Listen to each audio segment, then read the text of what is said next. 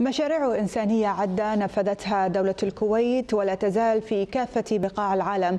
محطتها هذه المرة كانت في العراق وتحديدا بمحافظتي نينوى وصلاح الدين حيث نفذت مشروع تمكين الأسر العائدة من النزوح وتشجيعها على الاستقرار في المناطق المحررة. هذا المشروع يأتي في إطار حملة الكويت بجانبكم لإغاثة أبناء الشعب العراقي والمستمرة منذ سنوات. في إطار الجهود الإنسانية التي تبذلها دولة الكويت لمد يد العون للمحتاجين.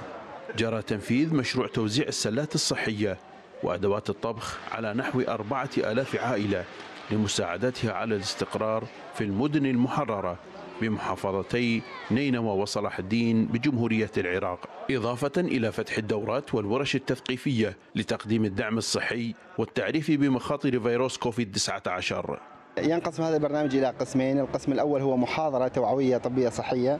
آه، يعني تبدو أهميتها يعني جلية خاصة في هذا الظرف الذي يمر به العالم أجمع حيث آه، وباء كورونا الذي يجتاح جميع العالم، هذه المناطق الفقيرة وهذه العوائل البسيطة بحاجة إلى هكذا معلومات تثقيفية.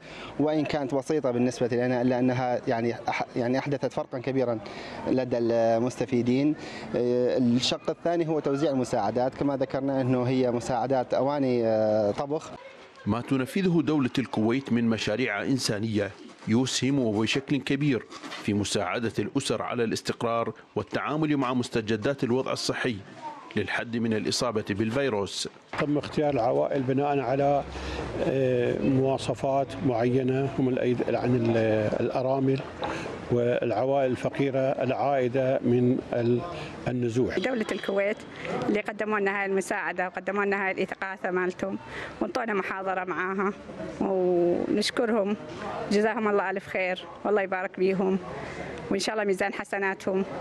يوما بعد آخر تجسد دولة الكويت الالتزام بمواقفها الإنسانية تجاه المحتاجين.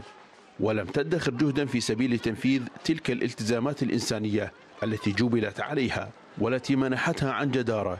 لقب مركز العمل الإنساني العالمي من مدينة الموصل عاصم الحمداني تلفزيون دولة الكويت.